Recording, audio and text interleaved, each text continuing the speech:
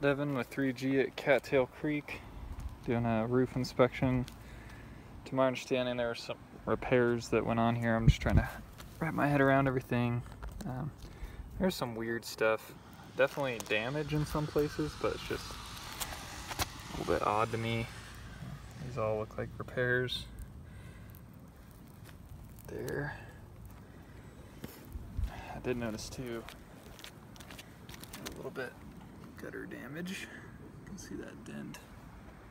See that dent.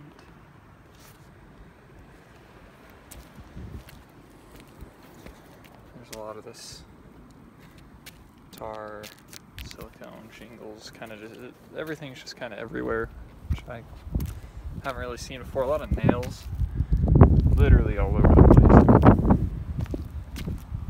So I'm not sure if that's shingles coming up or whoever did the repairs or whoever installed this roof initially. Uh, he's the tenant did say that um, all these turtle vents and I guess the furnace vent were just recently replaced. Here, I mean that's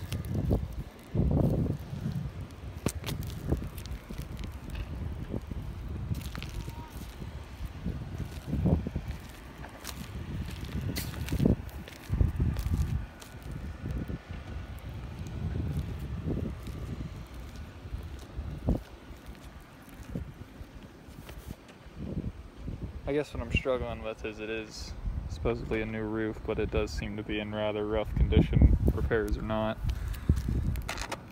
The more I look at it, I mean, it's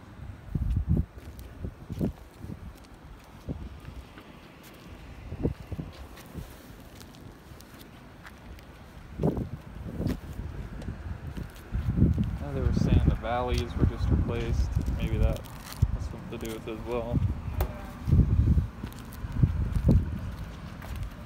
This other side here. I'll note too, those gutters on the bottom are full of granules. He seems to think from down there he can see, and I, I can too to an extent, um, a lot of divots in the roof just from impact.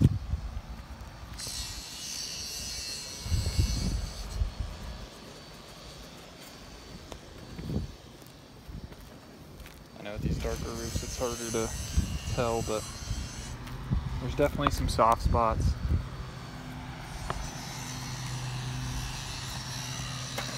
And things like this are just not sure how that comes about. Right here.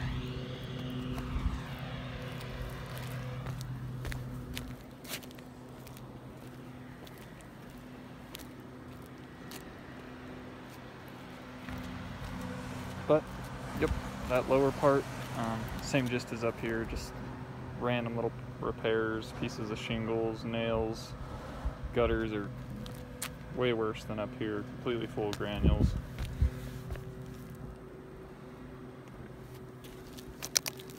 Some of these gaps and things of that nature, just the roofs I've seen, it's a little bit different everything seems to be kind of uneven and like right here I don't know what's these must be repairs. These must be patches of some kind.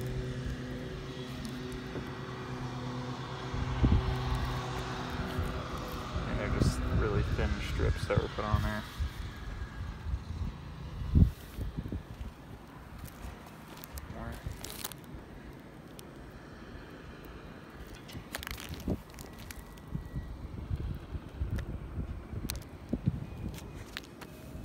just kind of seems to be falling apart to me. But I'll end that there.